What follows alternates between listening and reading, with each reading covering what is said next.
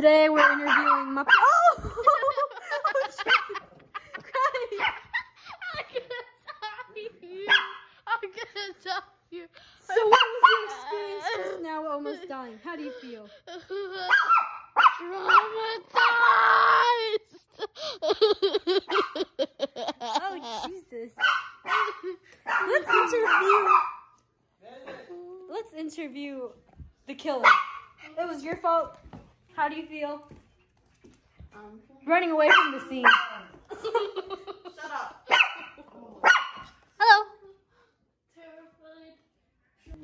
Today we're live with Miss Moppledoodle. Miss Doodle. Just like her. A celebrity. What's your favorite kibble? You have anything to say to the audience? No cameras? Oh, she's shy. What's your favorite kibble? Shih Tzu kibble. Well, what do you have to say to the audience? Um, stay in school and school sucks. That's all they needed to hear. Thank you. Come again. Bye bye.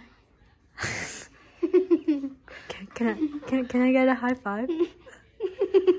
Yeah. Can I get your autograph? Goodbye. I will take no more questions. Get away. Okay. Get away from me. Get away. She's Get away. she's Get away. Get away. emo. Emo. Get away from me. Stop touching my hair. She's making this face. It's the exact face.